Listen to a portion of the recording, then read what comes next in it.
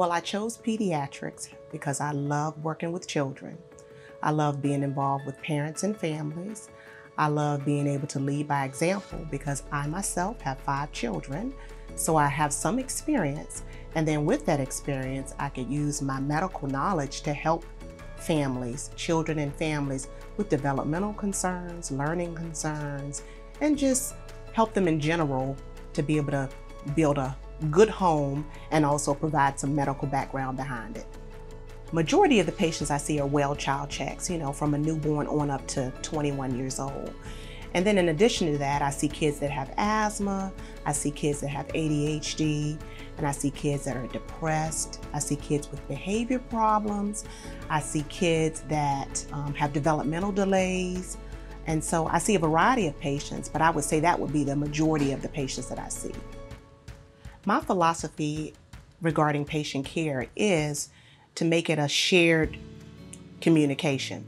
So it's not just 100% what I think when I'm trying to talk to a parent to get them to follow directions or clinical instructions.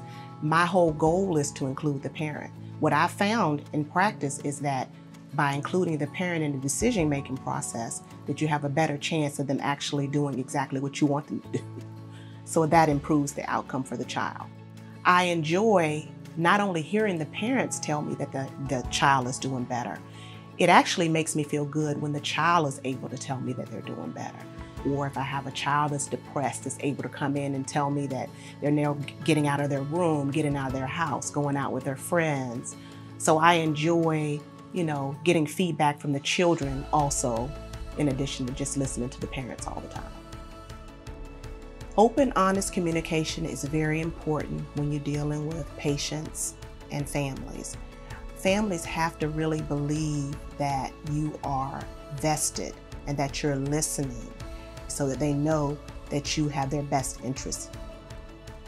Pure communication is imperative when you're dealing with patients in healthcare because two minds are better than one and sometimes you can come up with different ideas about how to solve a challenging patient problem. The great thing about Mercury West is that you can start here as a newborn and you can stay here until you no longer need care. Riverside's mission is to care for others as we would care for those that we love. So that is my goal. My goal is to make sure that I'm doing everything that I can do or even finding the resources that are available in the community to help the parent or family be successful and get the things they need. I'm Patrice Pennyfeather, pediatric nurse practitioner practicing at Riverside Primary Care Mercury West.